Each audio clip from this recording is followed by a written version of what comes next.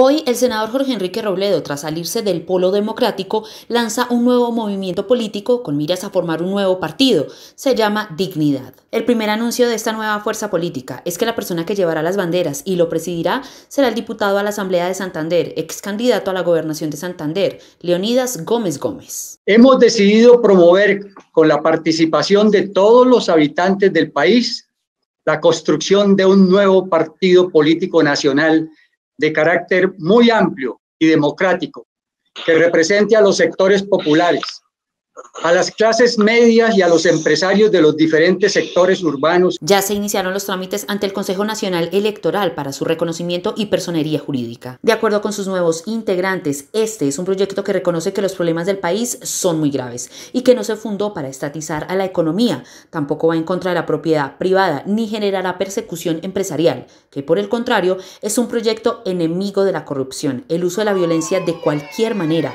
el monopolio del Estado sobre las armas y de defienden la producción nacional como una estrategia para crear fuentes de trabajo. No es un proyecto estatista.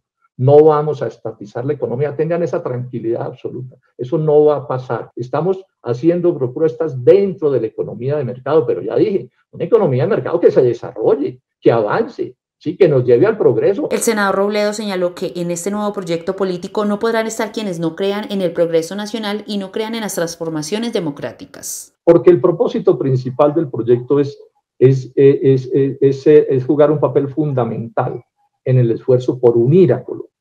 O sea, porque este país se salga de esta pelea estéril de perros y gatos, en donde los análisis sobre los hechos se, se cambian por las agresiones a las personas en donde todo se quiere resolver en 140 caracteres mediante un agravio. El comité ejecutivo que conformó el partido tiene varios sectores reunidos. La vicepresidenta es Alba Luz Pinilla, también ex miembro del Polo. Diógenes Orjuela, presidente de la Central Unitaria de Trabajadores. Jennifer Pedraza, líder estudiantil de la Universidad Nacional.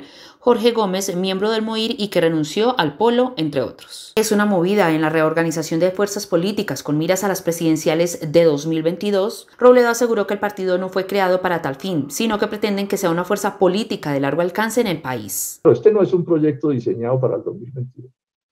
No, señores y señores. Este es un proyecto diseñado para que dure los años y las décadas y los siglos que haya que durar para ayudar y contribuir con el verdadero progreso de Colombia. El senador se apartó del polo democrático y suena como uno de los candidatos a la presidencia de 2022.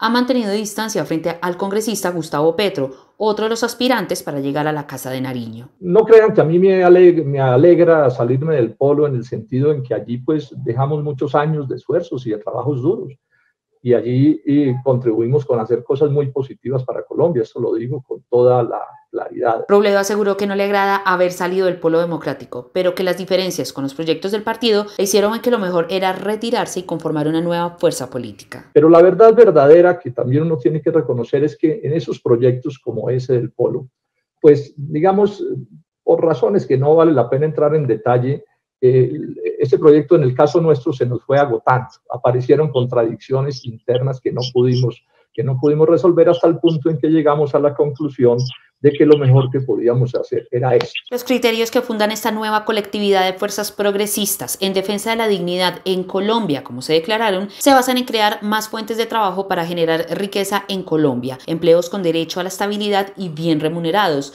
sustitución de importaciones que reemplacen la producción nacional con capital y mano de obra local, condiciones básicas para reducir la pobreza y desigualdad social, lograr el mayor progreso del sistema educativo y científico, crecimiento de la cultura y el arte, garantizar la salud como un derecho y la defensa y protección del medio ambiente para un desarrollo sostenible.